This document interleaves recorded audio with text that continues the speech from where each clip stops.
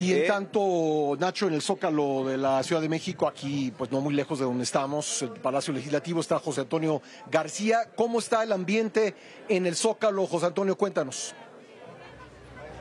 Pascal, Nacho, ¿cómo están? Qué gusto saludarlos esta mañana. Efectivamente, nosotros nos encontramos en el tercer filtro, este que se encuentra ubicado en 20 de noviembre y Venustiano Carranza, donde, bueno, pues ya muchas personas han llegado hasta este lugar, muchas vivas, hacia AMLO, hacia Claudia.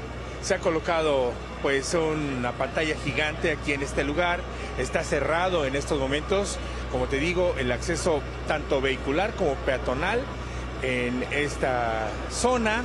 Pero bueno, pues han llegado aquí ya un número importante de personas, han llegado las Adelitas también a este lugar y bueno, pues también ha llegado la venta de souvenirs, de recuerdos en este lugar.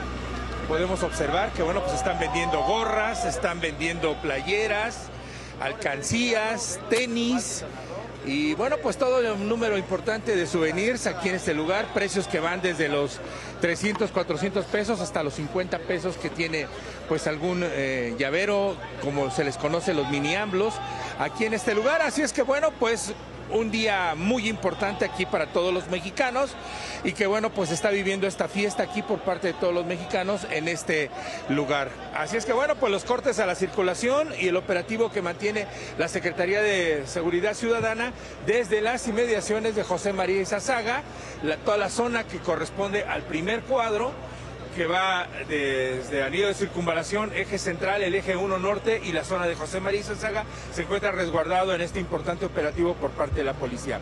Por lo pronto el reporte que tenemos, muy buen día. Muchas gracias, gracias José Antonio García.